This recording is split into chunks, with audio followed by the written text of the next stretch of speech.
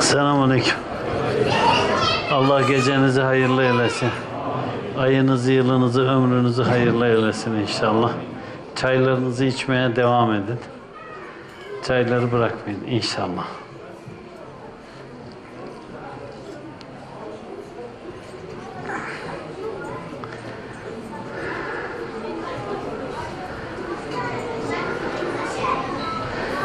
Medine'den gelince sanki bu dünyaya alışamadım. Hep sevgiler, sahte, yalan, dolan. Allah ile aldatma çok. Medine'den geldim hiç gelmek istemedim. Son otobüse beni bindirirlerken zorla bindim. 2021'de hacca gitmek için niyet ettim. Allah için bana dua eder misiniz? Allah kabul etsin. Allah yardımcın olsun inşallah. Ben para biriktiririm. İnşallah giderim. Sizi çok seven uzaktan ama içine kapanıklığım yüzünden bu sevgimi dillere dökemeyen bir günahkar. Allah iyi etsin inşallah. Neden insanlar insanların sevgilerini, muhabbetlerini sahte görürler ki? Allah iyi etsin inşallah.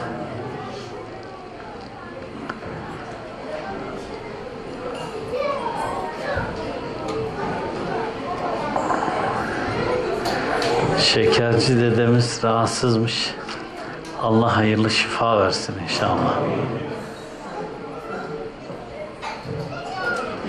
İtikafa giren erkek ve bayanların yanına çocuğu olmayan kardeşler için elma koydurabilir miyiz? Bir mahsuru var mı? Yok. Elmaya okuyacaklar, her gün ona bağışlama yapacaklar. Ondan sonra bir de dua edecekler. Ya Rabbi bunu yiyen kardeşimize hayırlı evlat nasip eyle diye. İnsanın akıllısı kim? Allah'a iman edip salih ameller işleyen. Şeytana çok kurnaz diyorlar. Kurnaz da neden cehennemlik oluyor? Şeytana kimse kurnaz demez. Allah iyi etsin inşallah. Ben eşimden boşanmak istiyorum fakat eşim boşanma isteğimi kabul etmiyor. Ben bunu defalarca dile getirdiğim halde benimle tartışıp ben boşanmak istemiyorum diyor ve beni bu evliliğe mecbur bırakıyor. Neden erkekler kadınları kendilerine mecbur bıraktırıyorlar? Biz kadınların da boşanmaya hakkı yok mu? İstemediğimiz bir evlilik gerçekten isteği üzerine, erkeklerin isteği üzerine bu evliliği yürütmek zorunda mıyız? Peygamber sallallahu aleyhi ve sellem bile kadınlara özgürlük hakkı verdiği halde neden biz bu haktan yararlanamıyoruz? Dervişlik adabı neyi gerektirir? Kadına eziyet çektirmeyi mi? Yoksa kadın haklarının eşit olduğu bu ülkede bizim de boşanma hakkımız olamaz mı? Evliliği korumak, muhafaza etmek, evliliği yürütmek güzel bir şey. Ama evliliği korumak, muhafaza etmek, onu yürütmek tek kişilik değil. Tek kişilik olmadığı için normalde insanlar evliliklerini bir şekilde karşılıklı eşler arasında anlayışla, özveriyle, toleransla yürütülmesi gereken bir şey. Bu tabi Kur'an sünnet dairesinde bir kadın normalde veya bir erkek boşamasını Kur'an ve sünnet dairesine oturtturacaksa önce Kur'an ve sünnet dairesinde haklı veya haksızlık aranır.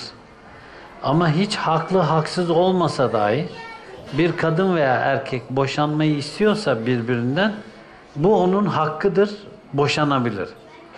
Bakın bu onun hakkıdır, boşanabilir. Burada normalde boşanma sürecinde ve boşanmadan sonra tarafların hangisi boşanmayı istediyse farklı hukuk ve haklar girer işin içerisine. Şimdi eğer normalde bir erkeğin bir kadını kendine mecbur etmesi doğru bir şey değil. Bu şimdi burada bir de yani işte dervişlik adabı neyi gerektirir denilince bu kardeşin de derviş olduğu belli. Eşinden boşanmak istiyor. Bakın bu e, bunu bana böyle söylediğinizde benim şeyim çok açıktır bu konuda. Söylemim. Kur'an sünnet dairesinde bir kadın eşinden ayrılmak mı istiyor? Evet. Oturur erkek ona normalde nasihat eder. Evliliğini bozmaması için birkaç sefer söyler. Ama hala da evliliğini götürmek istemiyorsa kadın erkeğin onun nikahında tutup zulmetmeye hakkı yok. Aynı şekilde erkek de boşanmayı isteyebilir. Erkek de boşanmayı istediğinde kadın da oturur, onunla normalde bir şekilde anlaşmaya çalışır. Anlaşmaya çalıştıktan sonra o da normalde erkeğe zulmetmemesi gerekir. O da erkeğin normalde boşanma isteğine olumlu cevap vermesi lazım. Ne yazık ki insanlar ama dini istismar ederekten ama dervişliği, dergahı istismar ederekten bu meselede sıkıntı çıkarıyorlar. Kadınlar da sıkıntı çıkarıyor, erkekler de sıkıntı çıkarıyor. Taraflardan bir birisi boşanmayı istiyorsa,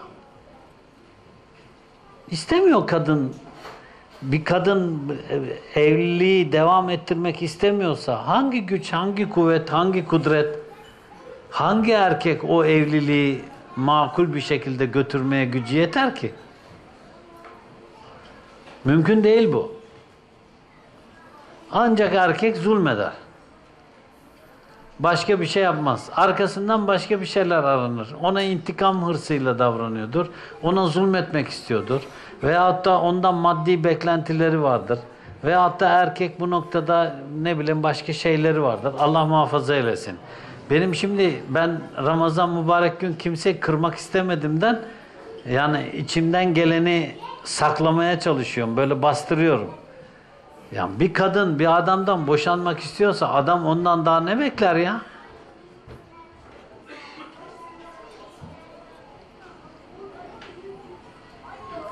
Bir kadın bir adamın önüne geldi beni boşa diyorsa, boşanmak istiyorsa adam ondan ne bekler daha?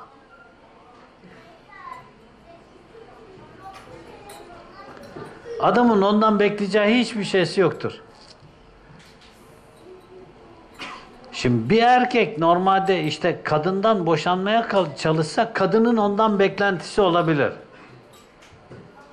Çünkü ayet-i kerimede der ki anlaşmaya çalışınız. Usulünle anlaşaraktan boşanınız. Kadınlara bunu tavsiye eder. Neden? Kadınla, kadın anlaşaraktan usulüne uygun boşanacak erkekten bir hakkı var ise hakkını alması açısından. Ona anlaşın der. Kadınlara bu noktada hani anlaşarak boşanmaya çalışın. Bunu tavsiye eder. Neden anlaşaraktan boşanmaya çalışır? Çünkü kadının hakkını alacak, hukukunu alacak, neyse onları alacak. Yoksa kadın anlaşmadan, adamdan zorla bir şey almaya kalksa adamdan alamaz ki. Adam zulmeder ona. O yüzden ona anlaşma yolunu koyar. E normalde şimdi bir kadın boşanmayı istiyorsa adamın söyleyeceği ancak şu olur. Benden hiçbir şey isteme. Masalama. İşin gücün rast gelsin. E tamam bitti. Ver dilekçeyi bir celsede boşan. Bu zulüm. Bu kim olursa olsun bir kadın bir erkekten boşanmayı istiyorsa ve erkek ona boşanmaya yanaşmıyorsa kadına zulmediyor. Demek ki kadın evliliğin kurtulabileceğine artık inanmıyor. Bunun üzerine gidecek bir şey yok ki. Bunun üzerine konuşulacak bir şey yok. Oturdun, konuştun, nasihat ettin. Burada çünkü birkaç sefer dile getirilmiş bu. Ben bunu defalarca dile getirdiğim halde benimle tartışıp benden boşanmak istemiyorum diyor. Şimdi bu bizim derviş kardeşimizdir. Ben şimdi e, dengeli konuşayım, gönlünü incitmeyeyim onu. Bizim öğretimiz bu değil. Bizim öğretimiz şu, bir kadın bir erkekten boşanmayı istiyorsa Erkek usulüne uygun bir şekilde nasihat eder, anlatır, söyler. Yine boşanmak istiyorsa dakikada boşar onu. Bir erkek bir kadını boşamak istiyorsa kadın der ki benim şu hakkımı ver usulüne uygun. Benim geçinecek kadar işte 3 aylık iddette, iddet döneminde ne kadar onun geçimin hayat seviyesi, standardı neyse onu ister, anlaşır. Biter mesele. Bu kadar basit. Bunu böyle insanların birbirlerine zulmetmeye götürmesi doğru değil. Bizim kardeşlerimizin arasında böyle bir şey olması, bu meseleyi zulme götürmesi de doğru değil. Allah muhafaza eylesin.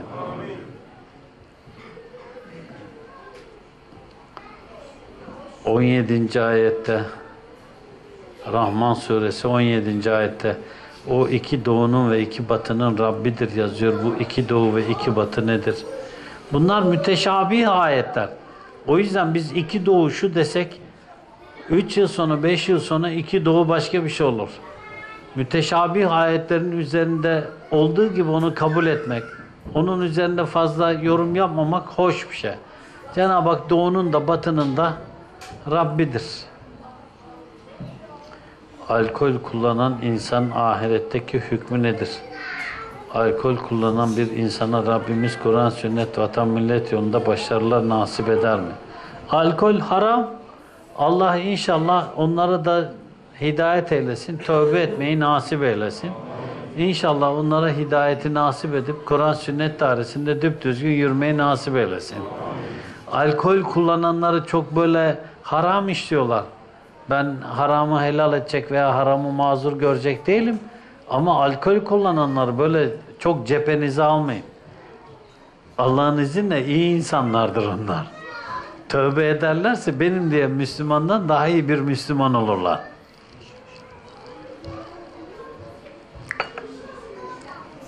Ben bugüne kadar alkol kullanıp tövbe edenlerden zarar görmedim. Adam hatta onlar böyle yol bilir, yordan bilir, e, nerede nasıl davranacaklarını bilirler, kalender olurlar, alçak gönüllü olurlar, ham sofu olmazlar, yürü dediğinde nereye diye sormaz, sevdi mi tam severler, güzel severler,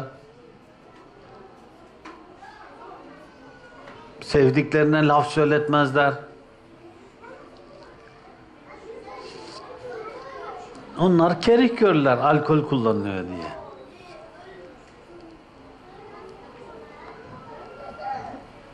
Bizim Bayındır'a gittiğimizde bizim mahallede Yakıköylü Selahattin vardı. Normalde cemaat tanır hep ismini söylerim. Orada karşılaştık, bir sarmaştık, dolaştık. Ondan sonra kulağıma diyor ki adam 80 yaşında var. Babamla yaşıt babamdan bir yaş mı, iki yaş mı ne küçük o. Onun büyüğü babamla asker arkadaşı yani aynı yaşıt. Babam 35'li, o işte o da 37 37'lidir. Ne oluyor? Kaç yaşında oluyor? Kaç? 82 yaşında. Tabii daha böyle ayakta böyle birkaç onların cinayetleri 6-7 tane yaralamaları herhalde ceza ve onlar için şeydi yorgan yatak orada duruyordu. Bir de yakındı da evden cezaevi. Onlar gidip geliyorlardı. Habire girip çıkıyorlardı böyle. En son bayağı kalabalık bir cinayet işlediler. Bir müddet yattılar, çıktılar. Şimdi adamı desen ki adam işte altıncı kol, şu bu kulağıma eğilmiş. Bizim olan bak işimiz bitmedi daha ha. Benim işim kötülerle, iyilerle değil. Varsa bir durum bana söyle. Ben gündüz külahlı, gece silahlı. Ben gece gelir hallederim. Yani benim için adam vuracak yani. Dikkat edin bak bana ona göre. Dedim içimden adam kaç yaşına gelmiş. Ondan sonra hala da bizim olan söyle bir durum varsa gelecek vuracak burada. Abisi de öyle diyordu. Hayrettin abi vardı kulakları çınlasın. Bir ara böyle işte e, sıkıntılı zamanlar olduydu. Beni yakaladı Bayındır'da. Bir arkadaşın dükkanın önündeyiz. Tabii onun öyle olduğunu bilmiyor o dükkan sahibi. Ondan sonra bana diyor ki bizim olan söyle anam avradı ol- olsun geleyim diyor beni tanımazlar ya diyor. Bana diyor fotoğrafını göster veya kendisini göster. Ben böyle nasıl hırsla söylüyor. Soku soku vereyim, soku soku vereyim. Yani böyle sanki karşısında onun birisi var vuruyor yani o esnada. Allah'ım dedim ya bununla haşır neşir oluyor insanlar dedim. Şimdi normalde dersin ki bu adam işte sarhoş veyahut da işte içki içmiş. Onlar tövbe eder geri dönerlerse muhteşem insan olurlar. O yüzden onlara dua edin. Öyle kalkıp da onları böyle kerih görmeyin. Tepeden bakmayın. Onlardan iyi derviş olur. O böyle sevdim onlar tam severler. Şimdi İmam Hatipliler, ilahiyatlılar canları sıkılmasınlar.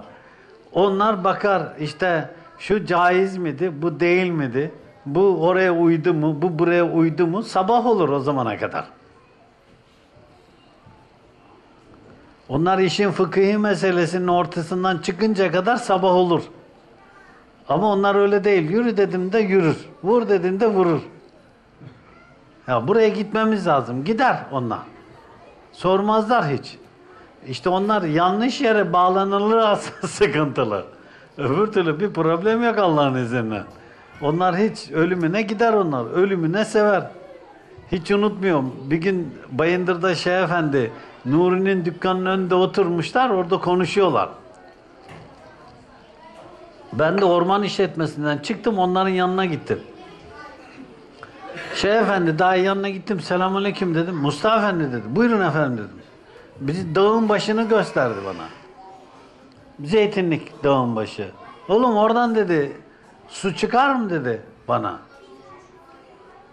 Himmetiniz de çıkar efendim ne çıkmasın dedim. Yani dağın başında cıbıl e, Ağustos zaten yanıyor ortalık. Döndü o imam bir arkadaş vardı ona döndü.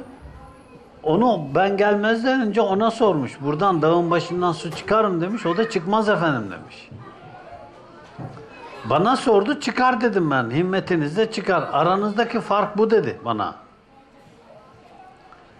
Sen dedi aklına mantığına vuruyorsun dedi. Çıkmaz diyorsun dedi. Bu aşkına muhabbetine vuruyor dedi. Çıkar diyor dedi. Ha dedim tamam. O yüzden öyle sarhoşları şey yapmayın. Kerih görmeyin. Onlarla arkadaş olun. Onlarla muhabbet kurun. Onları tövbe etmesine sebep olun. Vesile olun. Bişri Hafi'yi unutmayın. Hazreti Ömer Efendimiz'i unutmayın. Ebu Zer Gifari'yi unutmayın.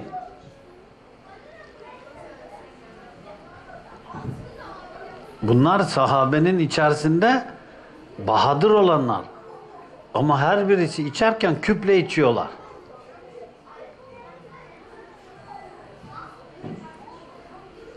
Öyle bir kadehle sarhoş olmuyorlar. Küple içiyorlar.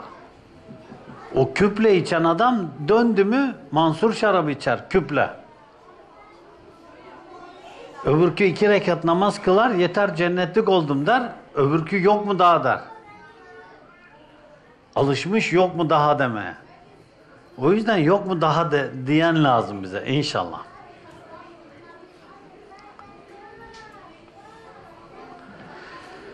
Geçen sene Ramazan'da bir saatlik de olsa itikafa girdiğinizde haber verin demiştiniz.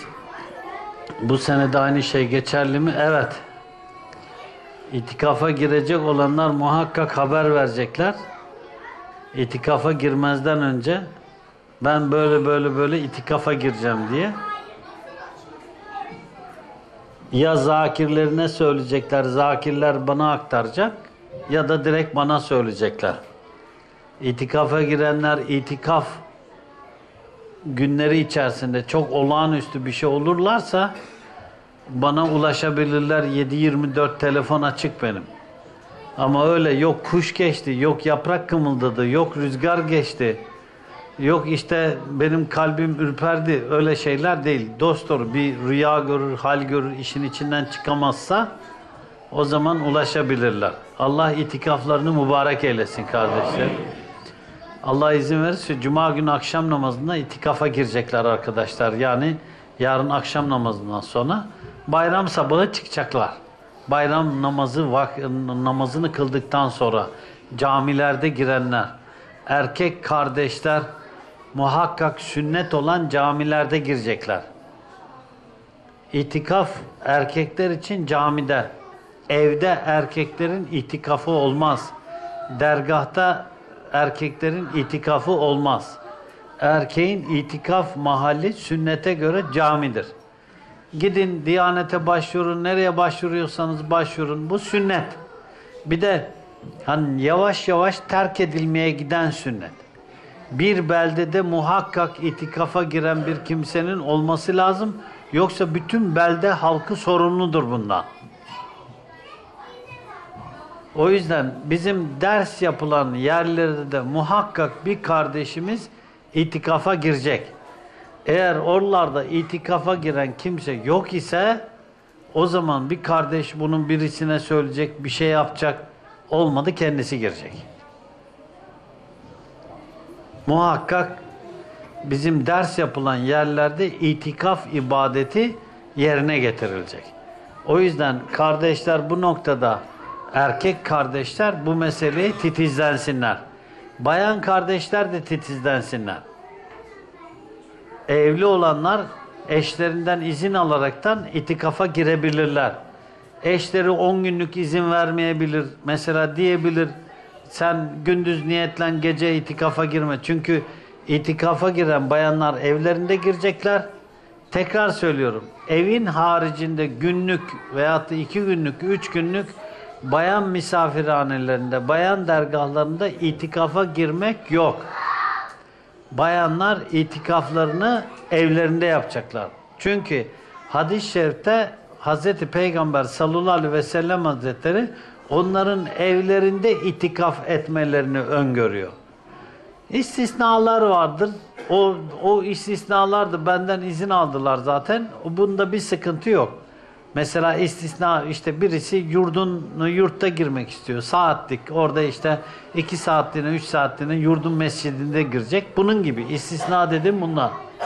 O yüzden evli olan kardeşler eşlerinden izin alacaklar itikaf için. Eş izin verirse 10 günlük itikafa girecek. Veya eş 3 günlük verdi, 5 günlük verdi o kadar girecek. Veyahut da eş dedi ki sen gündüzleri itikafını yap, sahurdan iftara kadar, iftardan sonra da itikaftan çık. O bayan o zaman normalde sahurla iftar arası itikafa niyet edecek, iftarda çıkmış olacak. Veyahut da resmi dairede çalışanlar, özel bir görevi olanlar, bayanlar için söylüyorum. Erkekler için de geçerli. Eğer bir göreve çağrılacaksa, bir gitme zorunluluğu olursa, bir mecburiyeti olursa bunlar 10 gün olarak niyet etmesinler. Çünkü 10 gün olarak niyet ederse niyet ettikten sonra itikaf ona vacip olur. Eğer 3 gün sonra, 4 gün sonra, 5 gün sonra itikafı terk ederse geri kalan gününü iade etmesi gerekir. Oruç tutarak hem bir de. Yani Ramazan'dan sonra oruç tutarak o itikafı ne yapacak? İade edecek. O yüzden kardeşler normalde itikaflarını düzgün bir şekilde niyet ederekten inşallah girecekler. Yarın 10 gün girecek olanlar yarın akşam namazında girecekler inşallah. İş yerinden verdikleri malzemelerin yerine yenilerini verdikleri zaman eski olanları evde kullanmak doğru mudur? Tornavida, yan keski, iş elbisesi gibi. Eğer normalde iş yeri belirli bir takım taklavat iş elbisesi bir mesela mutada bağlamış. iki yılda bir bunları veriyor. Her yıl veriyor diyelim. Eskisini istemiyorsa sizden eskisini evlerinizde veya kendi işlerinizde kullanabilirsiniz. İkindi ve akşam namazını kılamıyorum. Evde cem ediyorum. Namazlarım eda olmuş oluyor mu? Normalde ikindi namazını ve akşam namazını kılamayanlar, vakti geçti, yatsı okundu. Yatsı okununca önce ikindinin farzını kılacak, ardından akşamın farzını kılacak, ardından yatsıyı kılacak. Bu cem olmuyor. Bu normalde e, ikindi namazı kazaya kalmış namaz oluyor. Akşam namazıyla yatsı cem olur ama bu kazaya kalmış oluyor.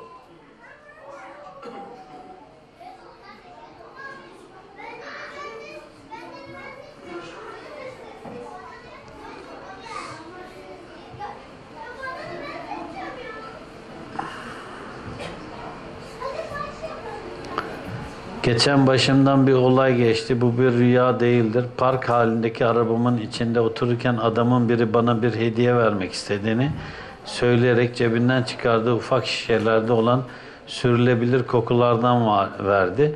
Ben de aldım teşekkür ettim ve cebime koydum. Daha sonra torpidonun üzerinde az önce arkadaşımın bana emanet bıraktığı paraları göstererek bu paralardan bir miktar Allah rızası için istedi.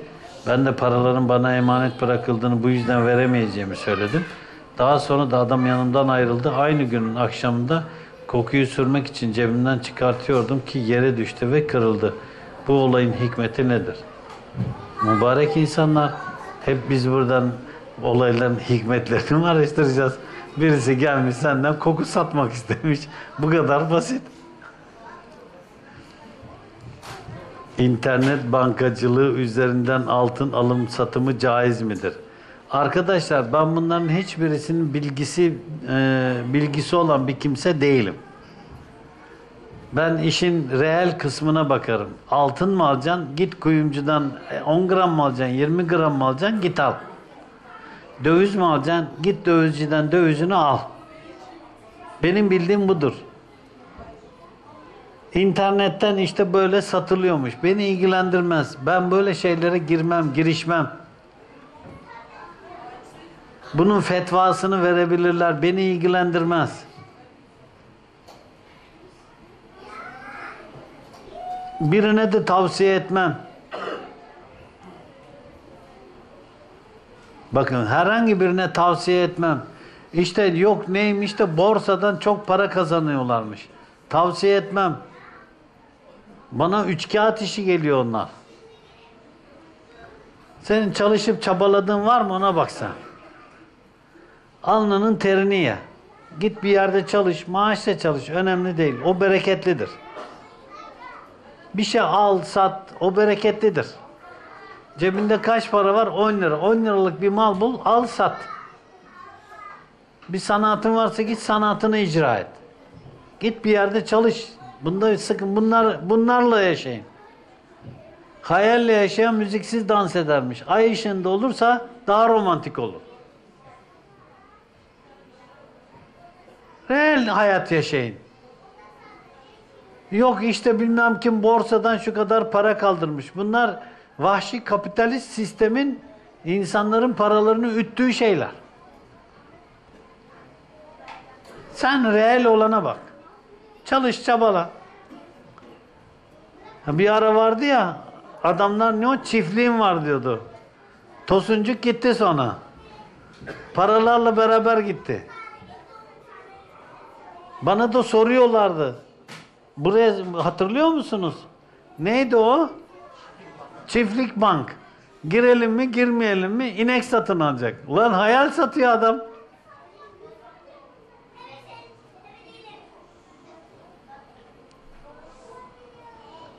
Yok inek alıyormuş da ineği soyuyormuş da. Ali kaç inek var sizde? Var mı hayvan? Sağınlı mı? Ha be- besi yapıyorsunuz. Ha bitti. Adamın reel. Adam sabah ol- olunca danaları görüyor. Akşam ölünce de danaları görüyor. Canı istediğinde danaları görüyor. Ne çiftlik bank kurmuş adam. Oradan alacak parayı. Bir kuruş, iki kuruş, beş kuruş, on kuruş tatlı geliyor tabi. Ondan sonra yatırıyorlar. Saadet zinciri kuruyorlar. Sonra hepsi birden gidiyor. Şimdi ara adamı. Bizim gibi ülkelerde bunlar normalde açık. Bunun bunların kanuni prosedürleri yok. Bunların kanuni prosedürleri yok. Bizde hırsızlığın, böyle alaverenin, dalaverenin, böyle üç kağıtçılığın, beş kağıtçılığın, orada uygunsuzluk, burada uygunsuzluk bunların kanun kanunları açık. Bizde bunlar yasak değil. Biz böyle soyulmaya, ütülmeye, öpülmeye hazırız hep. Girmeyin böyle şeylere. Bakın ben e, hadis üzerinden gideceğim. Hatta bugün Abdüllatif geldi. Abdüllatif'e söyledim. Hazreti Ömer Efendimizin oğlu Abdullah diyor ki birisiyle diyor para yani diyelim ki altın verdin gümüş alacaksın. Altın verdin gümüş alacaksın. Bugün için ne yapıyorlar insanlar? TL veriyorlar, dolar alıyorlar. TL veriyorlar, euro alıyorlar. Dolar veriyorlar, TL alıyorlar. Diyor ki verdin adama parayı. O diyor senin elinden parayı aldı başladı koşmaya. Sen de arkasından koş diyor. O duvardan atlarsa sen de duvardan atla. Ondan ayrılma. Ayrıldığın anda faiz olur diyor.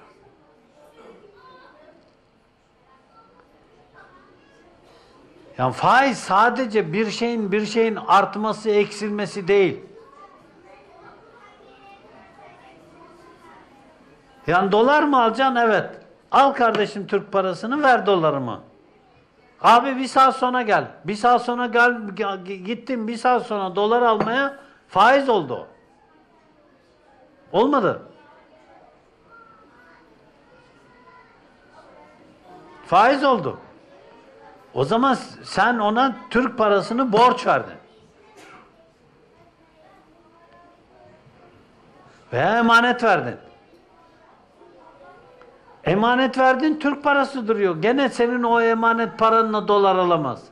Sen müsaade edeceksin. Diyeceksin ki benim emanet paramla dolar alabilirsin. İnce. Şimdi internetten altın satıyor adam. Gördün mü altını?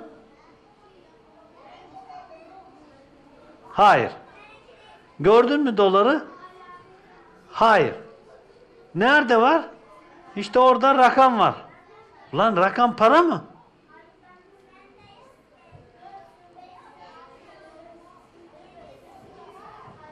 Rakam para değildir. Rakam bir meta değildir. Aslında İslam hukukuna göre kağıt para da yoktur.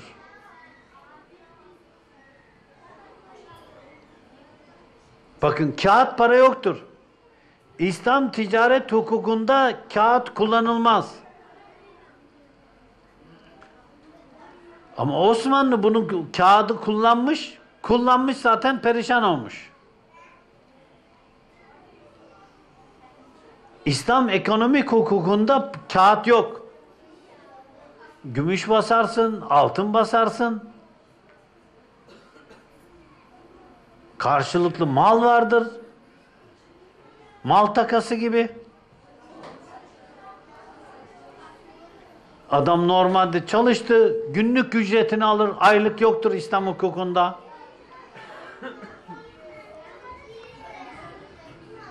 Adamın günlük yövmesi ne kadar? Beş kuruş. Her gün çalışır, her gün beş kuruş alır. Aybaşı deği yoktur İslam hukukunda. Ekonomi hep canlıdır o yüzden. Adam bugün evine giderken şeker alır, yarın evine giderken işte pirinç alır. Ertesi evine giderken fasulye alır. Ertesi evine giderken yeşillik alır. Ertesi evine giderken yağ alır. O her gün o parayı harcar.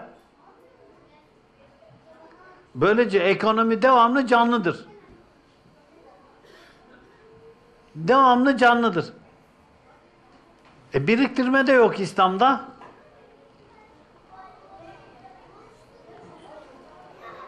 Bu sefer para bir merkezde beklemez. Şimdi para nerede? Bankalarda. Şimdi parayı da görmüyorsun. Bir tane plastik var elinde. Plastik. Para yok orta yerde. Plastikten rakama dönüyor. Plastik geçiyor o rakam. O rakamdan o rakama gidiyor. O rakamdan o rakama gidiyor. Rakamlar dolaşıyor orta yerde. Para dolaşmıyor.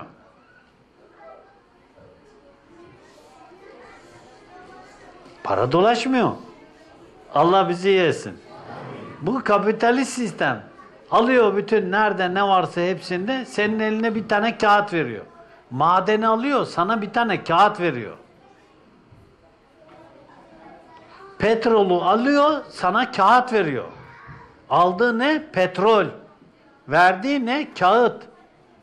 Ondan sonra diyor ki bu diyor dolar kağıtlar var ya bunları sen afun tufun edersin şimdi diyor. Oraya buraya harcarsın. Kendi diyor vatanına, milletine, insanlarına harcarsın. Sen bunu diyor dost doğru ondan sonra harcayacağın yeri bilemezsin. Onları ver ben sana beyaz kağıt vereyim diyor. Beyaz kağıt ne? Tahvil. Dolarları alıyor sana bir de ım, ABD Merkez Bankası'nın tahvilini veriyor sana. Senin elinde oluyor beyaz kağıt. Ver- Verdi, aldı yeşilleri sana, verdi beyaz kağıdı. Beyaz kağıt var elinde. O beyaz kağıtları kullanmaya kalkarsan Çin'e savaş ilan etti gibi savaş ilan eder. Sen o beyaz kağıtlar onun elinde. Ondan sonra Suud'un kralına diyor ki 500 bin- 500 bin dolar gönder bana. Yani gönder dediği sanki gönderdi mi? Oradan onun hesaplarından indirgandı yaptı. indiriverdi. Bir rakamı oradan oynattı. Geçti bitti. Elinde zaten onun kağıtlarda. Onun elinde. Her şey onun elinde.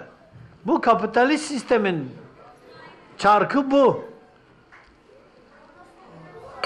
Siz de şimdi bir ay çalışıyorsunuz, parayı görüyor musunuz? Hayır. Nereye yatıyor para? Bank hesabına. Size diyor ki parayı siz elinize almayın. Parayı elinize almazsanız harcamazsınız. Para size sıcak gelir, tatlı gelir. Kenara 100 lira koyarsınız, 200 lira koyarsınız. O yüzden elinize almayın. Ne yapın? Alın size bir tane plastik, harca buradan. Sanki para senin değilmiş gibi. Ondan sonra her ay açık. Ondan sonra telefon aç. Mustafa Özbağ'la mı görüşüyorum? Evet. Ben şimdi neredeyim biliyor musun? Hayır kardeşim. Ben şimdi Setbaşı Köprüsü'nün oradayım. Ben kredi kartı mağduruyum. Ben buradan kendimi atacağım. Bütün Müslümanlar bundan sorumlu. Sanki kredi kartından yerken bana sordu. Dedim bekle beni de taş niyetine bağla dedim ayağına. Ben de bıktım bu dünyadan dedim. Ben beni de ayağına taş olarak bağla ikimiz beraber cumburlop gidelim. Bu durdu. Bu vakti gördüğü şey yok. Yani kredi kartını çekerken bana sordu. Ben bir kimsenin kredi kartı borcu var mı? Hiç üzülmüyor. Harcama kardeşim. Ya çok sıkıştım. Almayı ver. Yemeği ver ya. Almayı ver, yemeği ver, içmeyi ver. Eski usul. Anamın cebinde varsa alır. Anamın cebinde yoksa almaz. Allah bizi affetsin.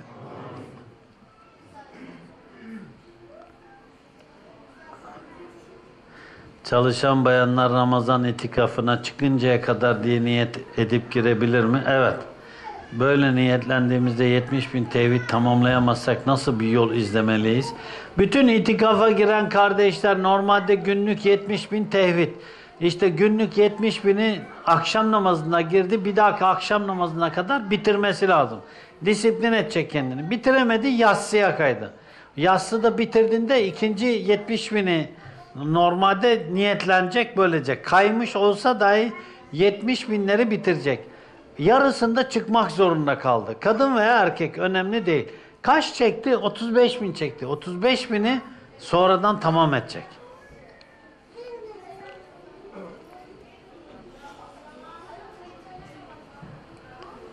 Siz Allah'ın yardımcısı mısınız? Kim Kur'an ve sünnet dairesinde mücadele eder, Kur'an ve sünnetin hakim olması için koşuşturursa onlar Allah'ın dinine yardım ederler. Öyle söyleyelim. Fâle ve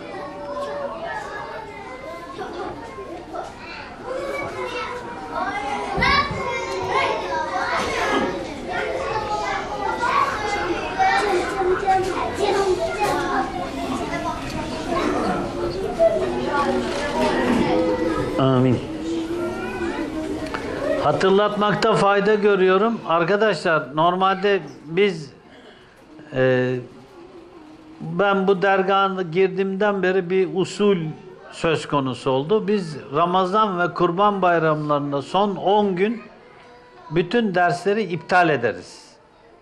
Yani normalde mahallelerde, beldelerde hiçbir yerde ders yapılmaz. Şimdi e, benim bir işim gücüm yok. Boşta gezenin boşta kalfası değilim ama yani o yüzden biz burada perşembe ve cumartesi derslerine devam edeceğiz. Bu perşembe ve normalde cumartesileri tekkede. O yüzden Bursa içi ve Bursa dışı bütün e, dersler bu noktada Ramazan'ın üçüncü gününe kadar bayramın üçüncü gününe kadar dersler iptal edilecek. Hiçbir yerde arkadaşlar toplanıp da ders yapmayacaklar. Herkes serbest. İtikafa girenler itikafına girecek. Bayram hazırlığını yapacaklar. Bayramlarını bayram gibi yaşayacaklar. Ama perşembeleri bizim burada dersimiz devam edecek. Son 10 gün esnaf olan kardeşler var. Kapalı çarşıda, orada burada. Hiç kimse e, mecbur değil son 10 gün derslere. E, aynı zamanda cumartesi günü de cumartesi sohbeti için de öyle. Arkadaşlar mecbur değiller. Kimisi gece meslekleri icabı dükkan açmak zorunda. İşte son 10 gün normalde alışveriş yapacak olanlar, dükkanlar olanlar dükkanlarını açıyorlar. O yüzden o arkadaşlar da mecbur değiller. Kendi kendilerine psikolojik psikolojik olarak problem yaşamasınlar. O yüzden diğer beldelerde de son 10 gün toplanıp da ders yapılmayacak. Kadınlar da erkekler de buna dahil. O yüzden bir yerde ders var, bir yerde ders yok. İşte biz e, ya bizim bir işimiz yok. Biz burada ders yapalım. Böyle bir şey yok. Sanki ders yapanlar çok kıymetli, ders yapan yapmayanlar kıymetsiz gibi algılanılmasın. Adab adaptır, edep edeptir, usul usuldür. O yüzden herkes usulü, adaba, erkana uysun. Perşembe günleri burada dersimiz devam edecek. Cumartesi günleri tekkede devam edecek ama diğer m, Bursa'nın içi dahil buna. Örneğin işte dik kaldırımda ders olmayacak örneğin. Veya teleferikte ders olmayacak örneğin. Bunun gibi. Burada normalde arkadaşlar perşembe günleri ve aynı zamanda da cumartesi günleri dersimiz devam edecek inşallah.